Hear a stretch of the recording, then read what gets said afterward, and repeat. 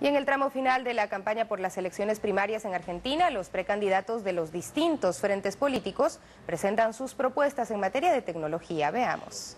En tanto, el Frente Nueva Izquierda afirma que el camino es seguir profundizando una independencia tecnológica de las grandes potencias extranjeras. Podríamos ir un poco más despacio, ¿no es cierto?, pero generar tecnologías entre nosotros, por ejemplo, uniéndonos a Venezuela. Te lo pongo como un caso, pero creo que hay otros. Brasil tiene un desarrollo bastante importante en todo lo que hace a computación, ¿no es cierto?, y a, todo, y a otras tecnologías. Yo creo que tenemos que trabajar para autoabastecernos tecnológicamente eh, en Latinoamérica si queremos realmente romper la dependencia.